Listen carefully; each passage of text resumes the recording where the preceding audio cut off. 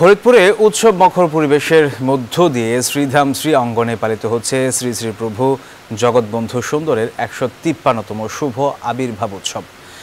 দর্শক, এ বিষয়ে আরও খবর জানাতে সরাসরি যোগ দিচ্ছেন সহকর্মী খায়রুজ্জামান সোহাগ। সোহাগ, জানাবেন আজ কি কি আনুষ্ঠানিকতা চলছে?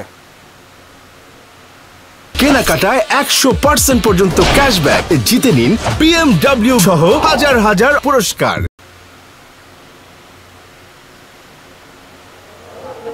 ধন্যবাদ দর্শক, আপনি যেমনটি বলছিলেন যে শ্রী প্রভু জগৎবন্ধু সুন্দরের একশো তিপ্পান্নতম আবির্ভাব উৎসব অনুষ্ঠিত হচ্ছে। গত আঠাশে এপ্রিল থেকে এই উৎসব শুরু হয়েছে। আজকে অষ্টম দিন, আর এই অষ্টম দিনে অষ্টলীলা কীর্তন অনুষ্ঠিত হচ্ছে। তো এই বিষয়ে আমি একটু কথা বলব।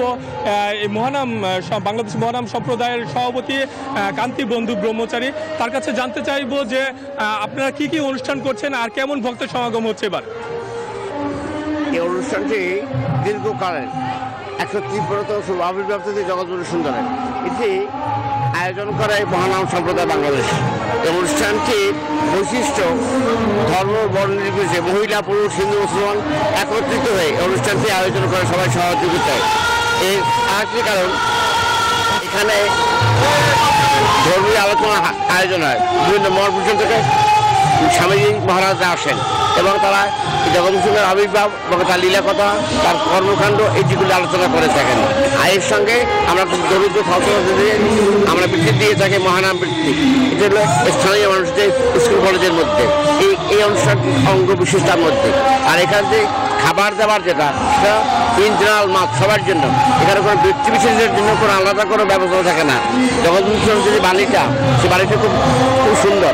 সমাজের সংস্কার আমি ভেঙে দেবো।